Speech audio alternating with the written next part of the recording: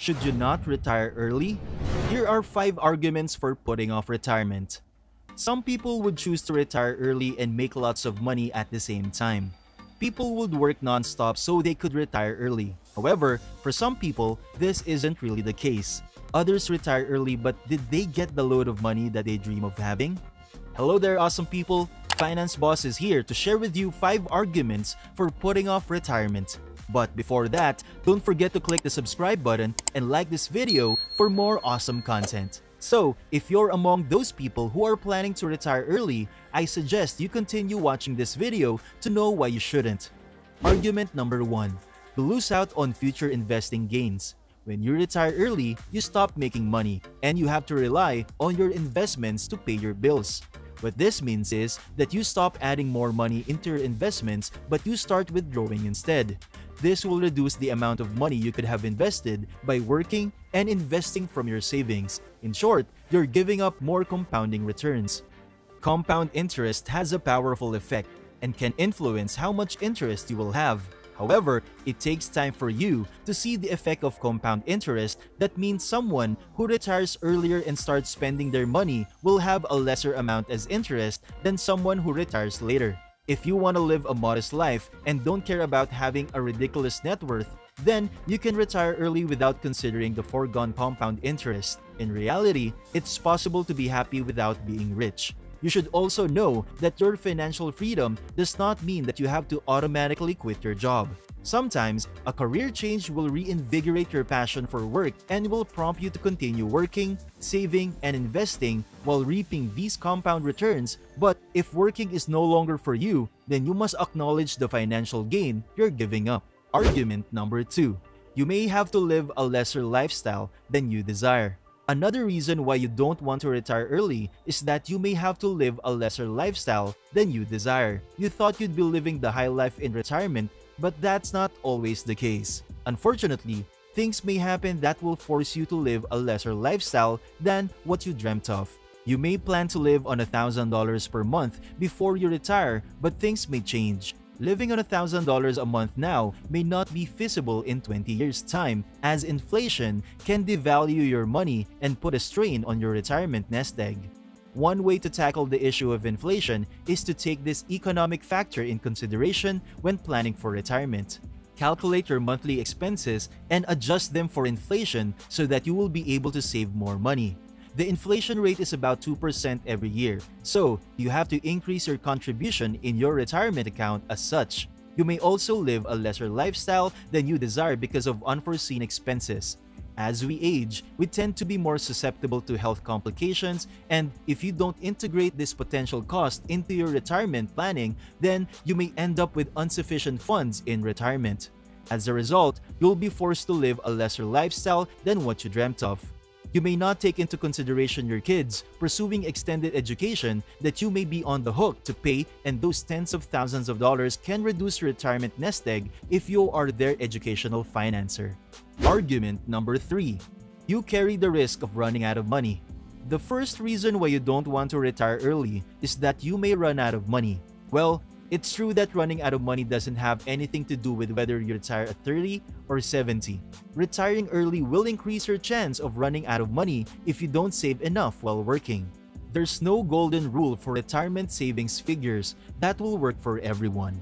For example, someone whose monthly expenses are low will not need to save as much money as someone whose monthly expenses are very high and these financial requirements are dependent on many factors. However, a rule of thumb that can help your retirement planning efforts is the 4% rule. The best explanation for this rule is that you should save at least 25 times your annual expenses for retirement. Withdrawing this amount at 4% per annum, you will be able to live off your savings for at least 30 years. But this rule may not apply if you intend to retire early because you may need to save more money to be able to meet up with your monthly expenses after you retire. If you want to retire at 30, you may need to estimate how long you think you'll live after that and save up up to that amount for retirement. One of the reasons you may run out of money if you retire early is because of unforeseen expenses. For example, you may need serious medical attention that requires a lot of money and that can affect your finances. You may have enough money saved for retirement, but enormous medical bills can affect you greatly. You stand a risk of spending too much and then becoming broke after the treatment. Another way that people who retire early stand the risk of running out of money is by a dip in their investment fund. There are market risks that can affect the value of one's investment and make it less valuable such as a recession, in this scenario, you'll either have to withdraw less from your portfolio every single year in order to maintain its robustness or alternatively, you'll have to earn more income and contribute back into this portfolio in order to be able to continue to draw the 4% that you initially anticipated. Argument number 4. You may be bored without work. You hate your 9 to 5 job so much that you can't wait to get out of work every day. You dream of having ultimate freedom, maybe traveling to a different part of the world and enjoying yourself while you never have to worry about money again. Early retirement may sound like a good idea for you to escape your job, but you have to think twice before you conclude that it's the best thing for you. If you make enough money today and you quit working, it only shows that you are working for money and not for a purpose.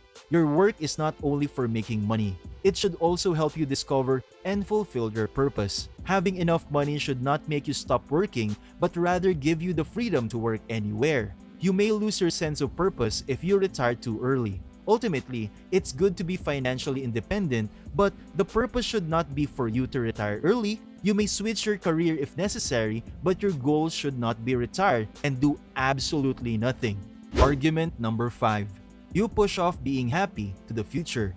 When some people learn about the possibility of retiring early, they become excited and they are often willing to do anything to see it become a reality. However, they soon realize that they have to sacrifice a lot of things to see this happen.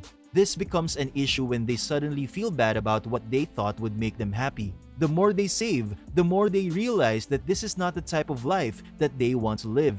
If you find yourself in such a situation, it may be a sign that you're pushing your happiness to the future and you shouldn't retire early. The goal of retiring very early can make you forego your happiness in the present for a future you're not certain of.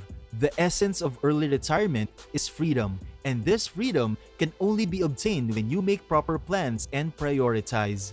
This may mean spending more money on the things that you enjoy occasionally, Finally, you have to understand that living a frugal life simply means that you're living below your means. So, are you still there? If yes, then give yourself a pat on the back for reaching this far. These are the 5 arguments that you will have to consider before signing up for retirement. Remember that you wouldn't want to spend your retirement days with regret just because you didn't have enough money to be happy. Once again, this is Finance Boss and thank you so much for watching. Before you leave, if you still haven't subscribed to the channel, then please do so. Also, comment down below your thoughts on today's video. Bye bye!